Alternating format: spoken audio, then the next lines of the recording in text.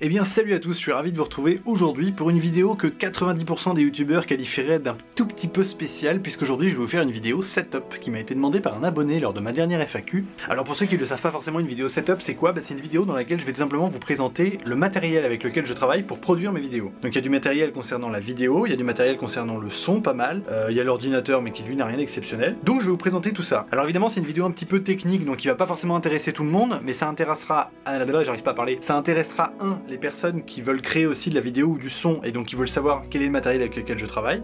Et deux, même pour ceux que ça intéresse pas forcément, bah, ça vous donne quand même une, pas, une petite image de comment je travaille, euh, de avec quoi je travaille. Puis voilà, on peut qualifier ça euh, de vidéo coulisses, making of, backstage, comme vous voulez. Enfin voilà, on va pas tarder plus longtemps, je vais vous montrer le matériel avec lequel je travaille. En, commençant par quoi d'ailleurs? Bah, Je sais pas. On va commencer par une petite caméra, tiens. Une petite caméra que j'aime beaucoup puisque c'est la Canon Legria Mini X.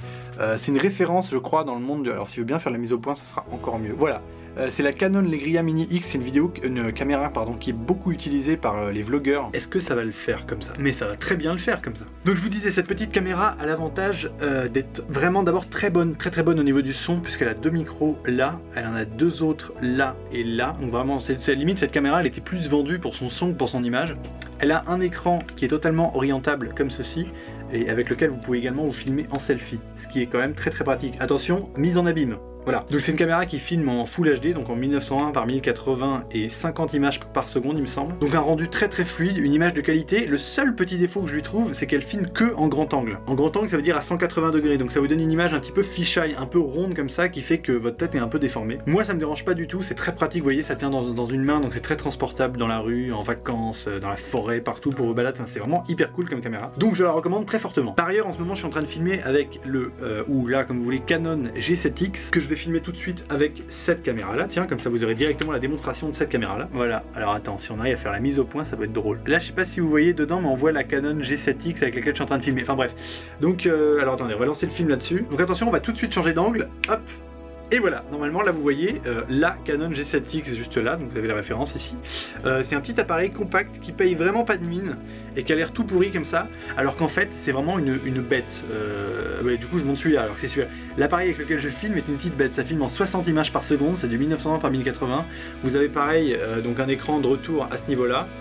voilà, très très simple d'utilisation, il fait la mise en point tout seul, etc. Donc c'est vraiment un appareil que je recommande et pour sa qualité euh, visuelle et audio d'ailleurs aussi. Il a plutôt un bon micro, c'est celui que j'utilise en ce moment. Donc voilà, c'était tout pour la présentation des caméras. Je filme parfois avec une GoPro, mais c'est très très rare parce que vraiment j'aime pas la GoPro, surtout en intérieur, c'est ignoble. Surtout si vous hésitez pour des caméras à Noël ou pour ce genre de choses et que c'est vraiment pour filmer en intérieur, n'achetez pas de GoPro. C'est pas parce que dans les spots vous voyez des images incroyables, etc., que vous aurez la même chose en intérieur. Vraiment, je vous le déconseille très fortement. Maintenant, moi je dis ça, je dis rien. Ensuite, pour m'enregistrer, qu'est-ce que j'utilise? Alors, j'ai acheté récemment un micro canon. Un micro canon, qu'est-ce que c'est? Eh Bien, ça ressemble à ça, tout simplement voyez la taille par, voyez la taille par rapport à ma main. Là, il y a juste le, cache anti-pop pour, euh, pour empêcher toutes les plosives qui font du bruit dans le micro. Donc ça c'est vraiment un accessoire, c'est en plus quoi, c'est pour améliorer la qualité. Mais le micro en lui-même, c'est ça, vous voyez, ça ressemble à une espèce de, grande tige, donc qui se branche en XLR et que moi je branche directement, enfin que je branchais jusqu'à quelques temps directement sur cette carte son. Ça me permet de faire une belle transition.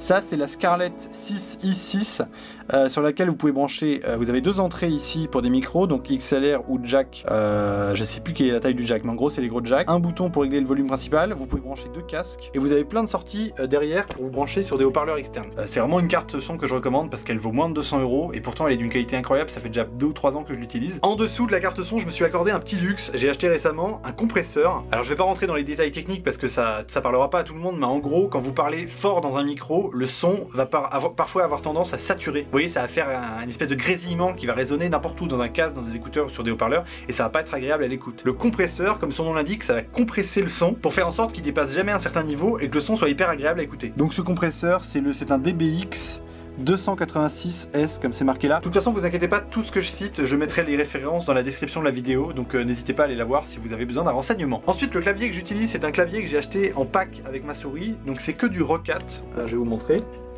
Euh, voilà, c'est cette marque. Voilà, c'est cette marque-là, Rocat. Est-ce qu'il veut bien faire la mise au point? Voilà. Rocat, alors oui, alors dans ma chambre, il y a beaucoup de poussière. Enfin, peut-être que je pense à. Oh là, c'est dégueulasse. Chez moi, la poussière s'accumule à une vitesse folle. Donc, c'est un Rocat. Bon, c'est un peu un, clavier de gamer qui s'allume dans tous les sens, etc. Même si je n'en avais pas vraiment besoin. Mais euh, c'est vraiment un clavier de très bonne qualité avec une souris de gamer également. Voilà, enfin, rien de particulier à dire sur le clavier et la souris. C'est des claviers et une souris, quoi. Mon casque est actuellement un Audio Technica. Euh, alors, lequel exactement? C'est le ATH M50X. Euh, je vous le recommande pourquoi? Parce que pareil, c'est un casque qui vaut moins de 200 euros, qui est très fidèle dans les basses et dans les aigus. Avant j'avais un Beats, et pour tout vous dire, Beats, bon il y avait le côté marketing euh, du magnifique Beats Studio, etc., qui a un son incroyable, et c'est vrai que le son était incroyable, mais il avait un peu trop de basses, et surtout au niveau de l'isolation, euh, quand je mettais le son très fort dans le bus ou dans les transports en commun, le Beats, tout le monde l'entendait, c'était insupportable, alors que celui-ci est beaucoup plus isolant, ce qui est un avantage certain pour un casque, donc je vous le recommande également. Maintenant je vais vous présenter un peu mes petits bébés dans cette chambre, c'est euh, vraiment un gros investissement. J'arrive pas à parler, c'est effrayant.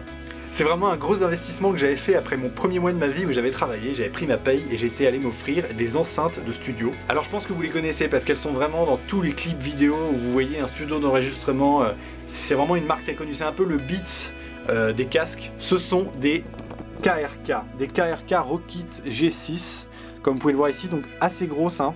Euh, faites pas attention, là il y a un bazar de fil, mais il faut pas faire attention. Donc les KRK, bah voilà, elles ressemblent à ça. Euh, vous voyez par rapport à ma main, c'est vraiment des énormes enceintes.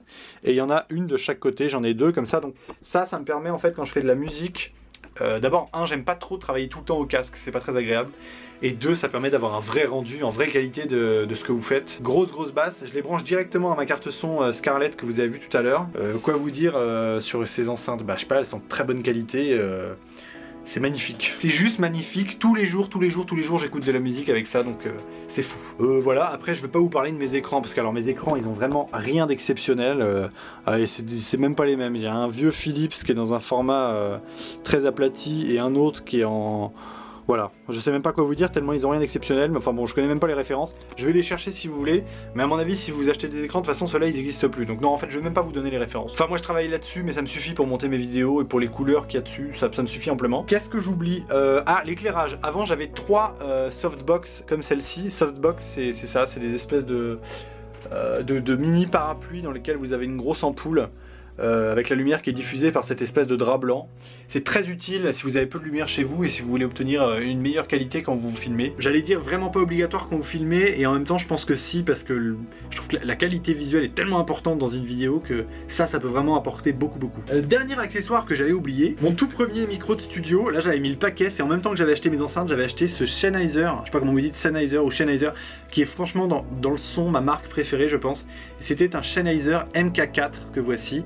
Euh, donc une bonne bestiole aussi, un très bon micro de studio. Euh, alors c'est pas du haut de gamme, hein. les vrais micros de studio c'est tout de suite au-dessus de 1200, 1500 euros. Celui-là était plutôt à 400 euros je crois, mais euh, c'est vraiment une très très bonne qualité. Et c'est avec celui-là que j'ai enregistré toutes les musiques que vous avez aimées, donc vraiment un très très bon micro. Donc voilà, je crois que je vous ai présenté à peu près tout. Je, vous présente pas l'ordinateur parce que l'ordinateur, quoi vous dire, il a juste un processeur, il a un i5 dedans qui tourne à 3,6 GHz je crois ou 3,2. La carte graphique, il y en a même pas, quasiment pas, c'est vraiment un truc mini mini qui me sert juste à faire du montage vidéo. C'est vraiment pas un ordi de gaming, j'arrive à faire tourner Minecraft et Counter Strike dessus, mais enfin c'est vraiment pas fait pour jouer à Battlefield quoi. Enfin bon ça me suffit amplement pour ce que je fais, et sinon avant je travaillais sur un MacBook Pro pour monter mes vidéos, et j'ai un peu arrêté parce qu'il s'essouffle et je m'en sers aussi pour mes cours, donc j'aimerais bien ne pas le tuer euh, avant la fin de l'année. Voilà c'est à peu près tout pour cette vidéo setup, donc s'il y a quelque chose qui vous intéresse en particulier, je vais vous mettre tous les liens dans la description. Si vous avez des questions, n'hésitez pas à les mettre en commentaire ou à m'envoyer par message. Voilà, et puis comme ça, bah, j'espère que ça vous a intéressé un petit peu, et puis vous savez plus comment je travaille et avec quoi je travaille. Alors bien sûr, il y a un truc qui me paraît important, c'est de vous dire que tout ça, il y en a pour, euh, y en a pour assez cher, mais j'ai largement pas eu tout d'un coup. C'est vraiment le fruit de, je sais pas, 3, 4, 5 années euh, de travail avec des petits jobs par-ci, des petits jobs par-là, où à chaque fois j'achetais pièce par pièce un nouveau micro, un nouveau casque, des enceintes, euh, un nouveau clavier de gamer, etc. Enfin voilà, j'ai vraiment accumulé tout ça petit à petit, ce qui fait que maintenant je peux travailler avec de la qualité. Donc j'ai envie de dire, le travail paye. Et euh, bah voilà, je vous souhaite euh, d'acheter euh, autant de, de, bonnes choses pour vos productions. Voilà, vraiment, si cette vidéo vous a plu, n'hésitez pas à me le dire en commentaire, ça fera plaisir. Et à mettre un petit pouce bleu, on sait jamais. Je vous souhaite une bonne semaine, je vous dis bon courage et à très vite pour une nouvelle vidéo. Bye bye